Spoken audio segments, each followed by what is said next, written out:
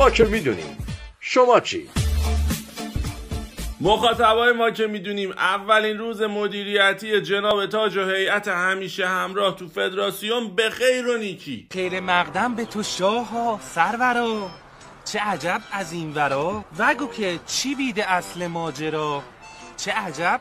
از این ورا. از دیروز که استاد تاج رأی آوردن سری رفتن فدراسیون به صندلی ریاست جلوس کردن. همینجوری هم یکی یکی همه دارن استعفا میدن. میگن یه سری استعفا هم تو راه و قراره با پیک بیاد دم در فدراسیون. به جز میرشاد ماجدی. ای بابا مگه 16 سالمه این کارا رو می‌کنی؟ مثلا دم آخری داریم فضا رو شاد می‌کنیم. میرشاد جان یه تنه عین سرباز رایان وایساده تو میدون تیر و ترکش می‌خوره و قصد ترک کردن صحنه رو هم هیچ رقمه نداره. تازه رفته تو فاز تهاجمی و گفته هر کی بپیچه به من میپیچم بهش. آدم حاشیه‌ای نیستم تو این شش ماه سرپرستی هم دید کمترین مصاحبه رو داشتم به دنبال این هستم که آرامش رو برقرار کنم اگر کسی به پای ما بپیچه به پاش میپیچیم. اگر نپیچه خیلی راحت از کنارش رد یعنی من اگه ده درصد از میزان امیدواری و اعتماد به نفس استاد ماجدی رو داشتم الان جای امیر تبسی خودمون رو گرفته بودم. مخصوصا وقتی اونجاش که گفت تاج خیلی خوششانسه چون پول تو حساب فدراسیونه. ولی خب نگفت این پول کمک دولت بوده یا درآمدزایی خودش. آقای تاج بسیار بسیار انسان خوششانسی هستند که با یک در واقع صندوق پرپول وارد فدراسیون میشن. تو نمی‌خوای دست از تمارز برداری مثل این که نه؟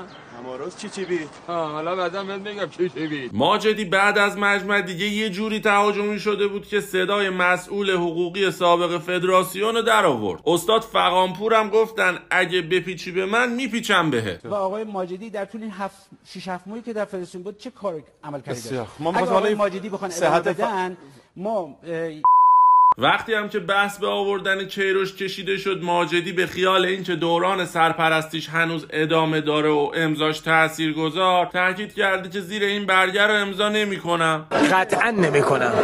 یک بار دیگه میگم قطعا نمی‌کنم.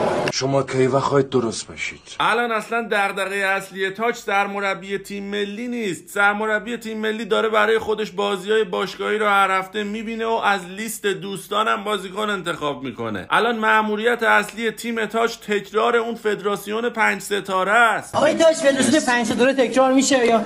ما امیدواریم که به هر جهت این که گذشت مال گذشته بود. حالا باید باید تلاش کنیم فوت.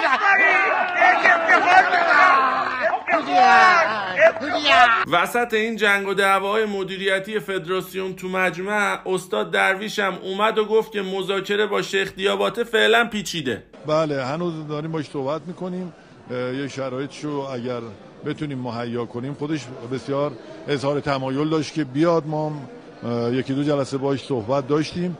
تا آخر هفته تکلیفش روشن بابا پرز جان یعنی درویش جان شیخ خب بخر و کارو تموم کن دیگه تا لیگ به انتها نرسیده. این شیخ خیلی وقته که بازی نکرده. چند هفته هم طول می‌کشه تا آماده بشه. سری دست به جنبون کجای شیخ؟ دیشبم کانون هواداران باشگاه پرسپولیس یه کلیپ منتشر کرد و گفت شمایی که تازه دارید میاید استادیوم تنقلات و چیپس و پفک و پاوربانک و این چیزا نیارید. اینجا همه چی هست. خوراکیایی مثل آب مدنی و تنقلات رو می‌تونید از بوفه‌هایی که بالای جایگاه ها براتون تهیه کردن تهیه کنید.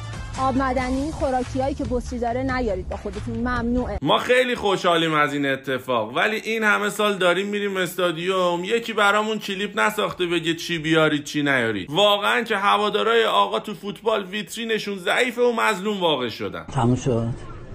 خیلی تاثیر گذار علی رضا روش هستم. خدا نگهدار.